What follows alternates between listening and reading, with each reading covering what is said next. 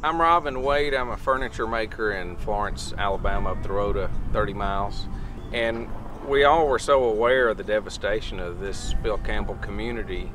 And everybody really, I think, wants to know how they can help.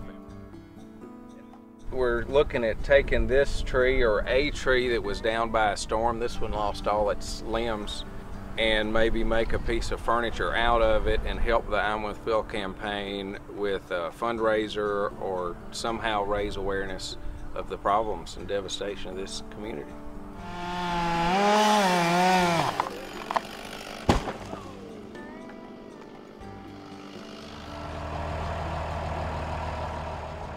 Taking something that's fallen and, or, or, or destroyed and, and making something new out of it to me is just very exciting. From here we're going to try to figure out what to do with this and what kind of piece of furniture.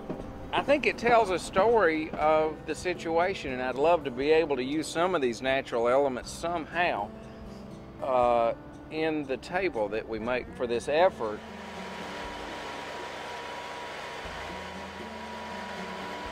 I'm really just trying to showcase nature's beauty, so it's kind of like this slab of nature that I have great respect for.